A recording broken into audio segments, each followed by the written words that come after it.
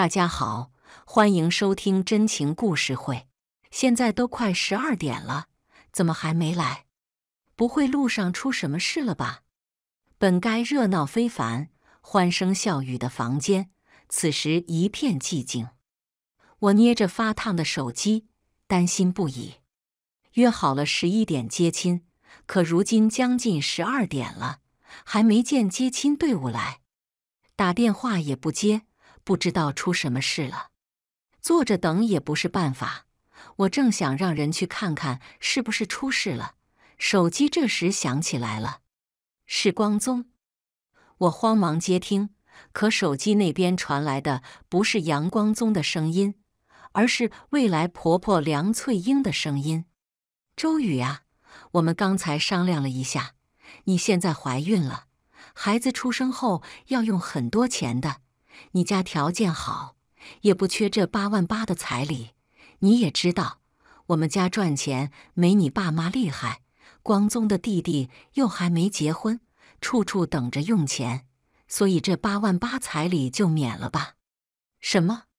房间里的人本就一直在看我，见我表情骤变，纷纷担忧地看着我。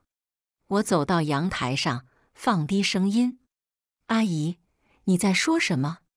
彩礼这件事不是早就谈好了吗？怎么又临时变卦了？彩礼这件事本就谈了很久，可一直都是我在妥协。从开始二十八点八万到十八点八万，再到如今的八点八万，我顶着父母的压力一退再退。这样做无非是体谅杨家条件不好。也认为两个人相爱，过好以后的日子就行，彩礼这些不用计较。爸妈拿我实在没办法，想征收八点八万彩礼，但我的陪嫁却是一开始的二十八点八万。之前都谈好了，不知怎么又变卦了，这怎么能一样呢？之前你是没怀孕，现在怀孕了，用钱的地方多着呢。这钱我要留着给我大孙子用的，我爸妈说了，这钱给我带回去，给我们小家用的。既然这样，那何必多此一举拿来拿去？先放我这里存着，要用的时候再给你。以我对梁翠英的了解，进了她的口袋，简直是肉包子打狗，有去无回了。我努力深呼吸，强迫自己冷静。阿姨。你听我说，彩礼不过是个形式，而且金额多少无所谓。但我们这边有习俗，是要新郎将现金亲自交给我爸妈。我还没说完，又一次被打断了。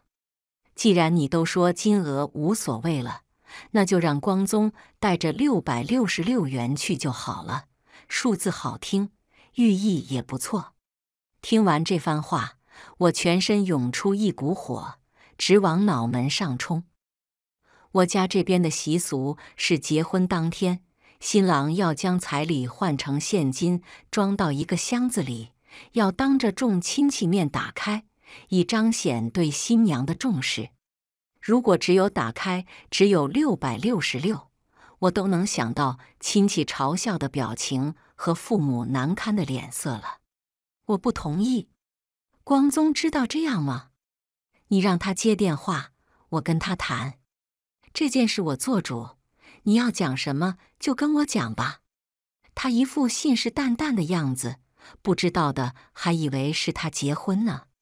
阿姨，今天是我跟他结婚，而不是你结婚。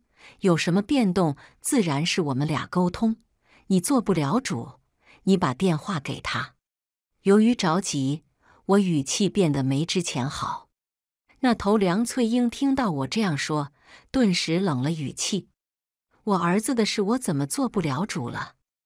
我说：“周宇，现在我杨家肯要你，你就赶紧自己贴嫁妆嫁过来吧。你以为自己是什么新鲜萝卜皮？一个被我儿子睡烂的货色，还大着肚子，除了我儿子要你，谁还敢要你？”听完这话。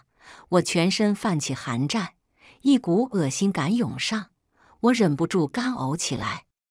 爸妈见状，急忙过来搀扶我。电话那头令人作呕的声音还在回响。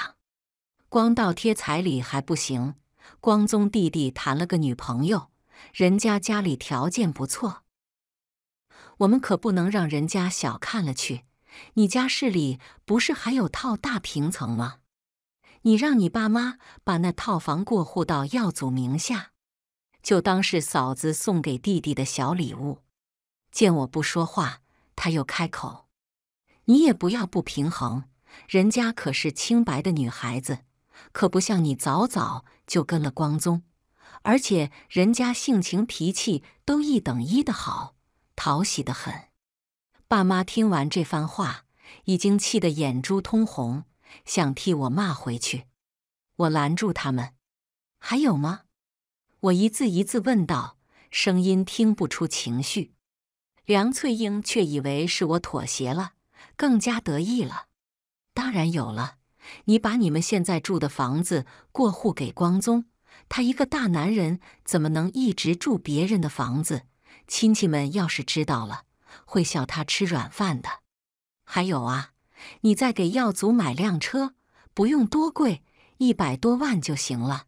再让你爸妈投点钱，给他开个公司。还有其他吗？电话那头沉默了一会儿，似乎很认真在想还有没有别的要求。暂时想不到了，等想到再跟你说吧。目的达到了，他声音也变得柔和起来。这样才对吗？这样才是我们杨家的好媳妇。你对我们杨家好，我对你也不会差的。小雨啊，妈刚才想了一下，六百六十六彩礼确实是有点少了。说出去，人家以为我们家小气呢。况且你爸妈面上也不好听。今天我做主多加点吧，加到八百八十八吧。他这句话说完。房间好几个人都怀疑是不是耳朵出问题了。梁翠英沾沾自喜的声音还在继续。想来想去，还是八百八十八好听一点。发发发！这下谁听了都不能说这个数额不好，除非他不想发财。说着说着，他忍不住笑了出来，似是很满意他的说辞。没问题吧，小雨？没问题的话，我就让光宗出发接亲了。我听着也忍不住笑出来，笑他虚伪自大，笑他自作多情。当然没问题了，妈你说了算。对了，光宗在旁边吗？让他听电话，我有点细节要交代他。当然在了，他一直在我旁边呢。一阵窸窸窣窣过后，电话传来杨光宗含笑的声音：“小雨。”平日低沉温煦的声音，此时我听着却感浑身冰冷。你一直在旁边，所以这一切你都是知道的，对吗？他听着我的语气不对，急忙解释：“我也是刚过来的，妈一直拦着我不让我出门，我也是没办法，没办法。”你是被下药了，还是被绑住了手脚？面对我的质问，他小心翼翼的解释：“真的不关我的事，妈在门口拦着我，说我赶出去就死在我面前，所以我，所以你就任由他们威胁我，让我一个人焦急的等着。”那头陷入了安静，好半天才听到他的声音：“小雨，对不起。”都是我的错，你怎么打我骂我都行，但这么多宾客等着，要不我先过去接亲。闻言，我忍不住笑了，笑意嘲讽：“原来你也知道这么多宾客等着呢。”小雨妈也是太着急了，她辛苦拉扯我两兄弟长大，最大的愿望就是看我们成家。这次耀祖的对象提出这样的要求。他也是病急乱投医，我劝了也没用。听到他的解释，我只觉得可笑。他辛苦拉扯你们长大，跟我有什么关系？怎么我跟你结个婚，不仅没有彩礼，还要反贴两套房？听到我冷冰冰的语气，他的声音一下子变得焦急起来。小雨，你先不要生气，我知道这样做不地道，但我妈身体不太好，要不你先答应下来，以大局为重，毕竟让这么多人等着不好。听着那头底气不足的声音，我感到无比的失望。我跟杨光宗在一起五年了，他是单亲家庭，父亲早亡，母亲独自拉扯两个孩子长大，寒门出孝子。这句话形容他很贴切。他作为哥哥，早早就兼顾家里的重担，自己赚学费，还能存钱寄回家。可能由于生活条件的影响，他比同龄人要成熟许多。在一众同龄人中，我一眼就注意到他，接着对他展开追求。朋友都劝我跟他不合适，家庭条件相差太远了。可那时的我只觉得真爱至上，友情饮水饱，根本不在乎别的。跟他家人接触后，发现他妈妈跟我想象中天差地别，尖酸刻薄，爱占小便宜，对儿子有着深深的控制欲。爸妈不喜欢他们家，坚决反对我跟他结婚。周遭的朋友嘴都要说干了，我仍执意要跟他在一起。彩礼一退再退，我顶着父母的压力也没有退缩。可没想到，令我无比欣喜的怀孕，却成他们拿捏我的把柄。看着满面愁容、担忧的爸妈，我突然觉得累了。电话那头不断在说他妈怎么辛苦，怎么不容易。我不耐烦的打断，语气是从没有过的冰冷。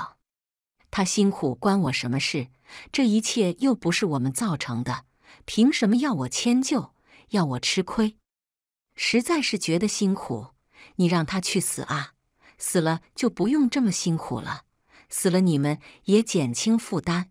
他这种人死了也是造福社会。我恨不得用世界上最恶的词语骂他。从前我跟杨光宗在一起的时候，处处迁就他。我跟杨光宗住在一起的时候，他三天两头就上门，对我挑三拣四，指手画脚，明里暗里表示我配不上他儿子。每当我跟他妈有争吵时，他总是义无反顾站在他妈那边，嘴里喊着他妈妈有多辛苦、多不容易。可这关我什么事呢？他的辛苦又不是我造成的。凭什么要我迁就他？从前我为了杨光宗一忍再忍，如今这婚我不打算结了，还忍个屁！周瑜，你疯了，竟然咒我死！你是不是不想嫁给我儿子了？周翠英最先反应过来，尖叫着质问，声音尖锐嘶哑，难听至极。想到以后再也不用听到这个声音了。感觉耳朵都轻松了许多。我劝你还是去医院检查一下脑子吧，多半是有点问题。你以为你杨家是什么豪门？所有人都抢着进，不过是一个穷酸破落户罢了。谁要是进你家，那简直是倒大霉了。我告诉你，杨光宗，今天这婚我不结了，谁爱结谁结吧。说完，直接挂了电话。一转头，看见爸妈鼓励的眼神，我眼眶含泪走过去，哽咽道：“爸妈，对不起，这婚结不成了。”妈妈轻轻将我搂在怀里：“不结就不结了，他们那样的根本配不上我的宝贝女儿。”那今天的宾客只能一个个打电话道歉了。爸爸打断我的话，扬声道：“不用打。”直接打电话给酒店，马上开席，就当庆祝我女儿重获新生，远离渣男。宴席照常进行。刚开席，梁翠英带着一群人闯了进来。周宇，你敢耍我们？宾客都请了，你说不结就不结了。说完，又指着在场的宾客骂道：“你们有病吧？新郎都没来开什么席？”我好笑的看着他，没有新郎，为什么不能开席？就当我死了，老公不行吗？周瑜，你个贱人，竟然咒我儿子！说完，竟然想扑上来打我。然而，在我的地盘，他怎么可能碰得到我？还没到我跟前，就被拦住了。谁说我老公是你儿子了？他还不配！杨光宗此时上前，将他妈妈护在身后，同时用谴责的目光看向我：“小雨，别闹了，快跟妈道歉，别耽误了吉时。”我悠悠的看着他，似笑非笑道：“你是不是没搞清现状？到底是谁在闹？彩礼只给八百八十八元，还要我给你弟弟买一套房，不仅要给你弟买。”还要给你一套，说什么没有房子，亲戚会认为你吃软饭。我后退一步，目光上下将他扫视一遍。我说：“杨光宗，有谁不知道你就是个吃软饭的？你全身上下哪样不是我买的？你吃穿用住有那样是花你自己的钱？你凭什么会认为自己不是软饭男？”到底是谁给你的自信？我故意扬高的声音，所有人听到声音纷纷看过来。我说：“好端端怎么不结婚了？原来是这样啊！看这家人的嘴脸，不结还是好事呢。这男的好模好样，竟然想做小白脸。八百八十八元彩礼，竟然好意思给我份子钱都不敢给这么少。”杨光宗感受到众人鄙夷打量的目光落在他身上，顿时脸涨得通红，双手紧握成拳，似乎是忍不住要发作了。小雨，你别胡说，这些我都不知情，都是我妈自己问你要的。看着他一副道貌岸然的样子，我简直想把自己的双眼抠出来，用辣椒水洗洗，叫你眼瞎。从前我觉得他清风自傲，很多事情都不争不抢，工作生活上吃了许多亏，而我心疼他，许多东西都替他争回来，所以他身边的朋友以及亲人都认为我犀利蛮横，不好相处。如今才发现他不过是披着羊皮的狼，什么都不用说，躲在人家身后，要别人替他出头。替他达成目的，这次也是坏人让他妈做，他白得一套房。问起来就说都是他妈的主意，他一句没办法就将自己摘干净了。好一个坐享其成！我只恨自己到现在才看透他。你不知道，我忍不住笑了笑，笑着笑着眼泪就出来了。你妈挑我毛病的时候，你不知道。你身边朋友议论我，你不知道；我东奔西走为你争取晋升机会，你不知道；我为了跟你结婚，差点被亲戚有，你不知道。你到底能知道什么？许多人围上来哄我，替我擦眼泪，然而眼泪越擦越多。我没有压抑克制，任凭眼泪夺眶而出。我在哭我逝去的青春。哭我一厢情愿的爱情，哭我这些年无谓的付出，这也是我最后一次为他哭。梁翠英见不得我被这么多人关心，不耐烦开口：“你别说这些没有用的，你肚子怀着我们杨家的孙子呢，必须结婚。”孩子这两字让我停止哭泣，从口袋掏出手机，翻出预约挂号的界面。放心吧，孩子过几天就没了。梁翠英看清手机的信息，顿时瞪大了眼。周宇，你敢？这是我的孙子，你敢打掉？杨光宗的眉头越皱越深，一向从容不迫的脸，此刻也变得紧张起来。小雨，有什么事以后再说，不要拿婚礼和孩子开玩笑。我不想搭理他。只想他们快点消失。我没开玩笑，婚礼我已经办了呀，孩子过几天就没了呀，所以你们赶紧滚吧，这里不欢迎你们。听我说完，我爸扬手叫来几个保安，将他们赶出去。梁翠英不依不饶，扬声大喊：“周瑜，你要是敢打掉我的孙子，我一定不会放过你的！有什么不敢的？”宴席过后几天，我在闺蜜的陪同下去了医院，躺在冰冷的手术台上，感受冰冷的仪器游荡在小腹间。我感觉我的心一阵阵抽疼。对不起，宝宝，让你没有机会看一眼这个世界。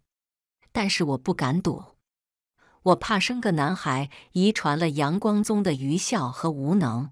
生个女孩，遗传了梁翠英的尖酸刻薄。我不想她出生后有那样的爸爸和奶奶。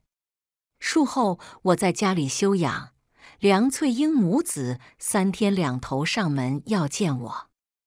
我爸妈怕他们打扰到我休养，将他们拒之门外。可梁翠英不依不饶，说我害死了他们杨家的孩子，让我赔二十万。他每天在门口喊，吵得邻居哀声连连，忍不住报了警。有了警察的警告，他这才安分了几天。他消停了，我们耳根也清静了。阳光宗是不是还住你那里？吃晚饭的时候，爸爸随口问了一句：“杨光宗虽然自己有套小三居，但他是跟我住在一起的。我好几天没回去。”也不知道他搬走了没。我明天让人去看看，如果没搬走，那就赶他走。总不可能让他白白住着。爸爸说这句话的时候漫不经心，像是随口一提一样。但我能感受到他们小心翼翼偷瞄我的目光。之前让他搬来跟我住，爸妈非常不满意，跟我说了好几次。但那时我根本听不进去，一说我就甩脸子、发脾气，后面他们都不敢再提了。看他们的样子，我鼻头一酸，急忙低头扒饭，挡住自己发红的眼睛。我装了监控，吃完饭我看看，这监控是我前不久装的，为的是全方位记录结婚那天的全部场景。我都打算好了。婚后把录像拷出来，留着以后纪念日看。这件事我没有跟杨光宗讲，想着到时候给他一个意外惊喜。可当我打开监控，杨光宗倒是给了我一个惊喜：他没有搬走，不仅没搬走，反而带人住了进来。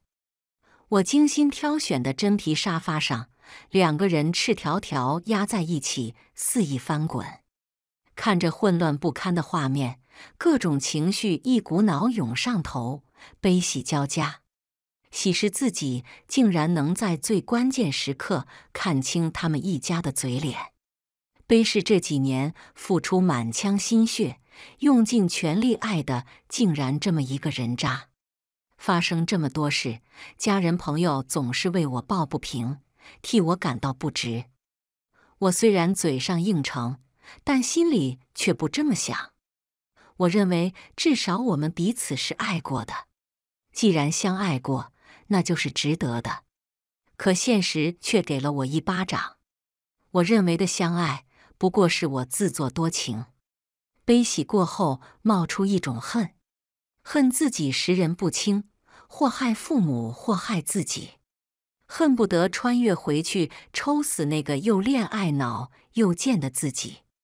不想再看这辣眼睛的一幕，我正想关掉监控，不经意看到那个女孩的脸，我愣住了，许久都没反应过来。那个女孩我认识，是杨光宗弟弟的女朋友柳月。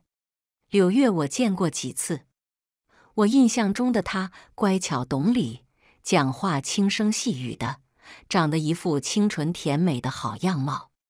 跟此时浪荡呻吟的模样相差甚远。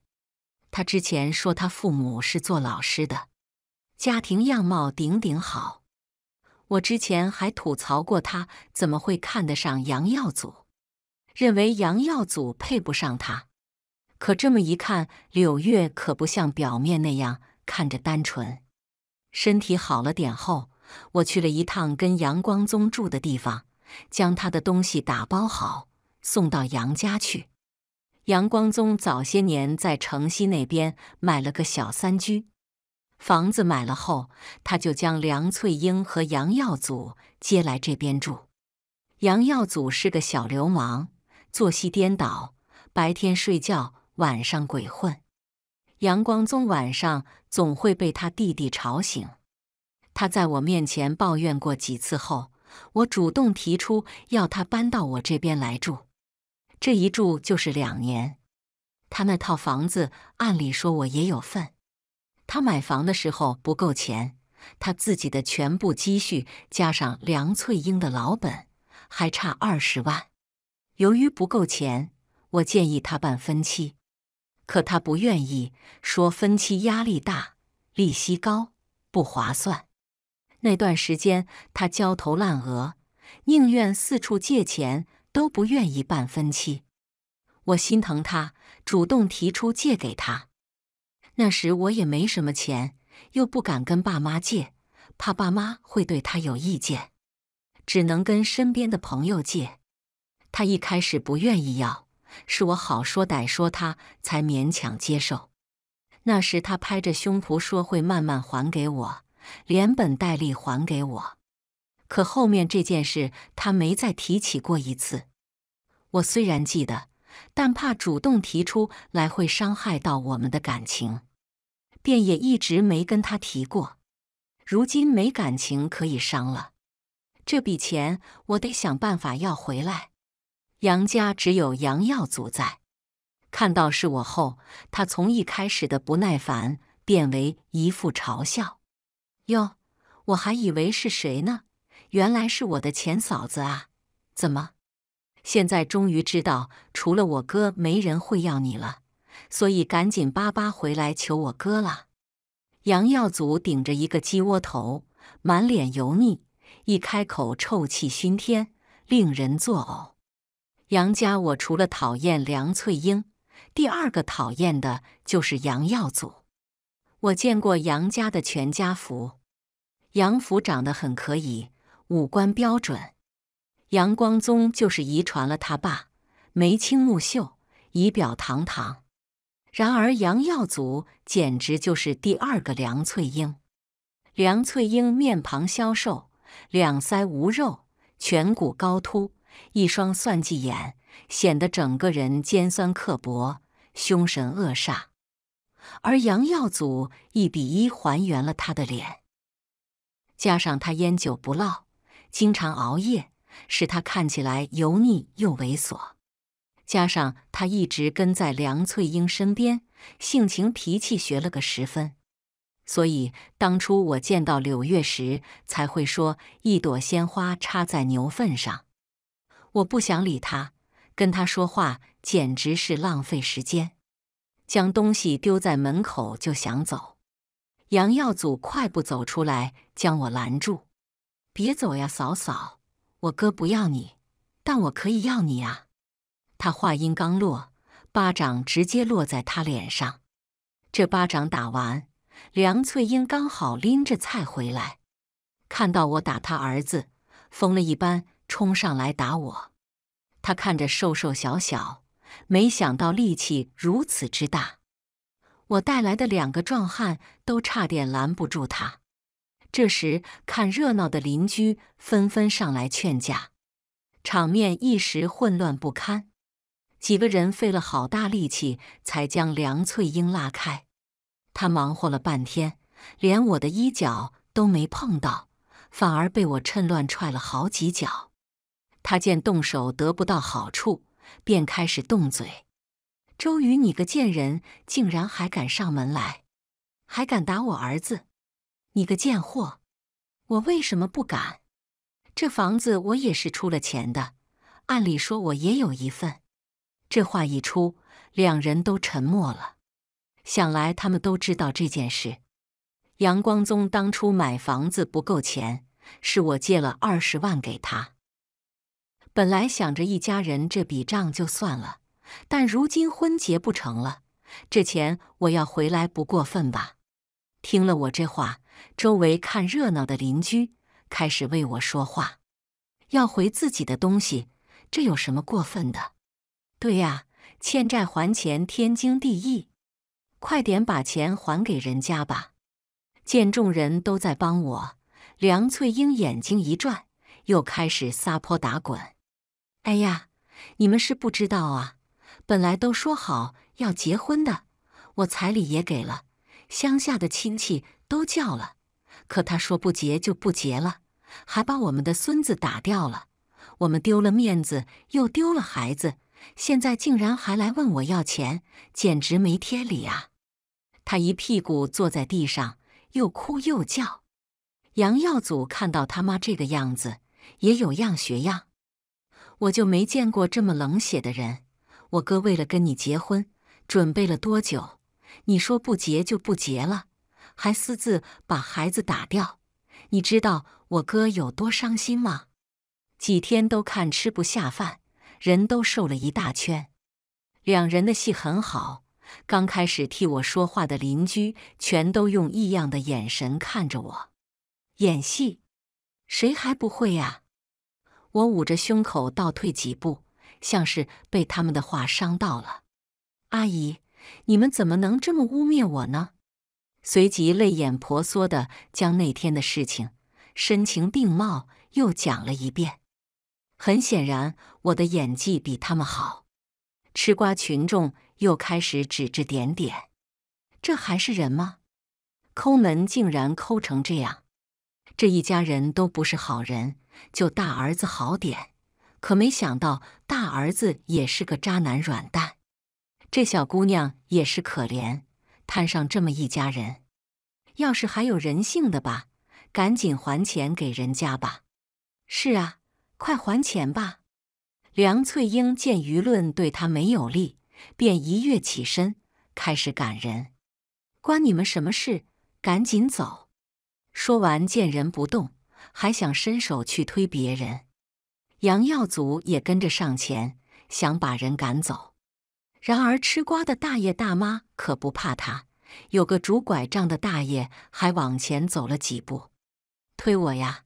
我这身老骨头可是很脆的，你要是敢碰我，看我不讹死你！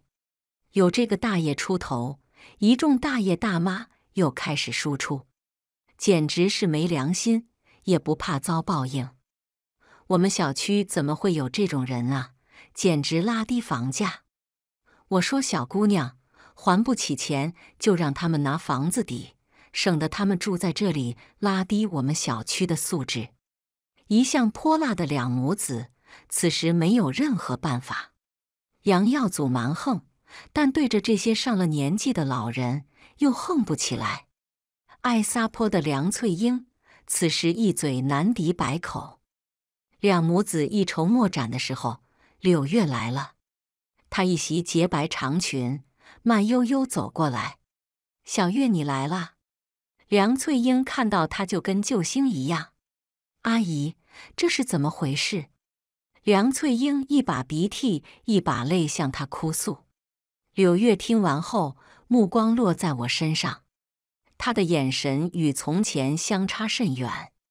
从前他见到我都是满脸笑意，姐姐前姐姐后的叫，如今他的眼神有鄙夷和不屑，还有一点得意。宗哥跟你借的钱，我帮他还。话一出，梁翠英母子震惊地看着他。小月，这钱可不能给他，他擅自打掉我的孙子，我还没找他要赔偿呢，怎么可能还把钱给他？柳月回头递给他一个稍安勿躁的眼神。你借钱应该有打欠条的吧？你把欠条给我，我把钱给你。这句话的前一秒，我还在替柳月惋惜。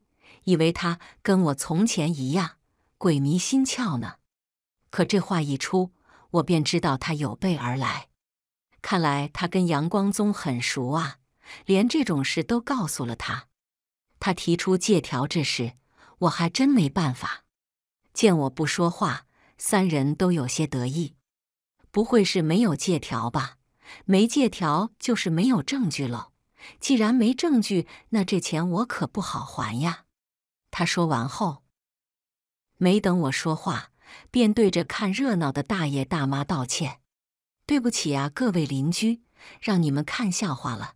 这些都是家事，我们会处理好的。大家散了吧，围在这里有点阻滞交通了。”这个时候临近饭点了，加上柳月长得斯文漂亮，讲话又客气礼貌。他们象征性说了几句，便都散去了。看到人都走了，梁翠英更得意了。小月真能干，这才配做我们杨家的媳妇，不像某些人倒贴都没人要啊。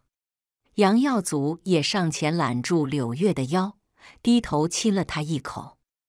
我看到柳月不动声色地往旁边躲，那还用说？我家宝贝人美心善。跟天上的仙女似的，哪里是一般人能比的？看着他们一副小人得志的模样，我挑眉一笑。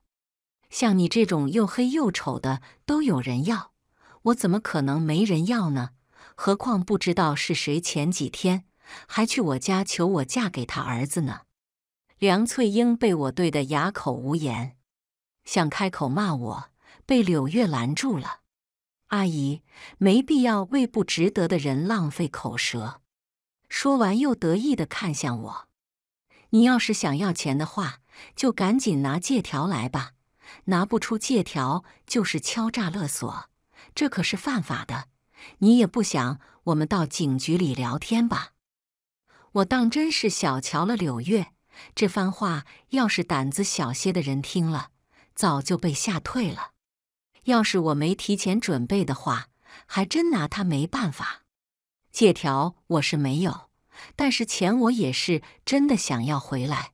这么想要回来，倒也不是缺钱，只是我宁愿把这钱给路边的乞丐，也不想跟一些乞丐都不如的人。周瑜，你个贱人，你说谁乞丐呢？我吹了吹额前的头发，慢条斯理道。谁应了就是谁喽。梁翠英听出我话里的讥讽，气得直咬牙，却又拿我没办法。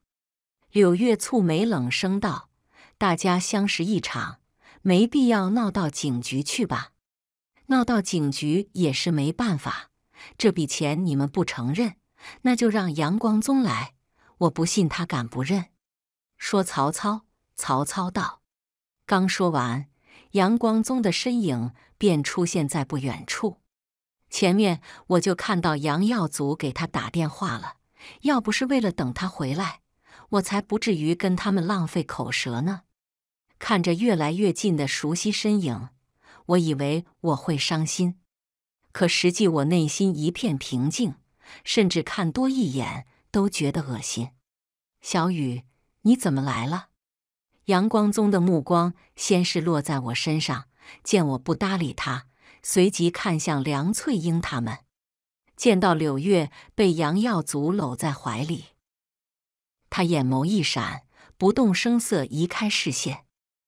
而自从杨光宗出现后，柳月便想挣脱杨耀祖的怀抱。梁翠英见到他大儿子，立马委屈起来，大倒苦水。杨光宗听完这一切，受伤的看向我：“小雨，我以为你回来是原谅我，没想到。”我忍不住翻了个白眼。以前怎么没发现他的演技这么差？别自作多情了。既然你知道我今天来的目的了，那就赶紧还钱吧。听到这话，杨光宗的脸色一僵，沉默了。柳月此时来到他身边。提醒道：“宗哥，刚才我说了替你还，可他却拿不出借条，指不定是在讹你呢。你仔细想想，到底有没有这件事？”这一番话让杨光宗茅塞顿开，又开始演了起来。他颤抖着声音，似乎是受了很大的打击：“小雨，我知道我对不起你，你狠心打掉孩子，我也没有怪你。”只怪我自己没有留住你。我知道你怨我，你对我有气，你想要补偿，可以直接跟我说，但我求你不要将这些莫须有的债务扣在我身上。我阳光宗堂堂正正，不会欠你的。停停停！我听不下去，再听下去，我怕我会将隔夜饭吐出来。你不是要借条吗？我发到你手机上了。杨光宗半信半疑拿出手机，然而看到我发过去的东西后，他脸色大变。梁翠英在一旁想伸头过去看，被他一把推开，动作很大，将几人吓了一跳。我似笑非笑看着他们，怎么样？这个借条你认不认？我发给他的可不是什么借条，而是他跟柳月翻滚的视频。杨光宗此时装不下去了，目光阴狠地看向我：“周宇，你好样的！”我扶了扶衣袖，畅快道：“一般一般，都是跟你学的。明天我要看到钱，不然你的风采可要人尽皆知喽。”我走了一段路，远远还能听到他们的声音：“儿子，钱可不能给他呀，我们没从他身上捞到钱。”可不能倒贴钱给他呀！别吵我，我自有分寸。第二天一早就收到了阳光宗转的钱，二十万和一条短信，钱转过去了，以后一拍两散，一拍两散，做梦呢！我这只是要回了属于我的东西，而对你惩罚才刚刚开始。被我赶出来后，杨光宗只能回小三居去住。我雇了一个私家侦探监视杨家的动静，发现自从杨光宗搬回去住后，柳月去杨家的的频率越来越高。他在的时候，杨耀祖晚上也不出去了，在家陪他。侦探蹲了好久，这天晚上，杨耀祖终于出门了。而在对面楼的侦探看到柳月进了阳光宗房间，接着拉上了窗帘。我得到这个消息后，立刻匿名给杨耀祖打电话，叫他回家。哥哥跟女朋友光秃秃躺在床上，这换了谁谁不疯？更何况本身就是疯子的杨耀祖。那一晚上，杨家灯火通明，战况激烈。简直大快人心！我以为这件事能让杨家内乱好久，可不过才短短几天，他们就好像冰释前嫌，内部和解了，一致统一对付我。他们分工明确，杨耀祖负责举手机直播，梁翠英和柳月负责哭，开始每日上楼，在我们门口哭骂，物业将他们赶走。不让他们进小区，他们就在小区门口骂，还在小区门口拉横幅，骂我水性杨花、抛夫弃子。这段时间我出门，总是有人对我指指点点，更甚至丢烂菜叶子在我家门口。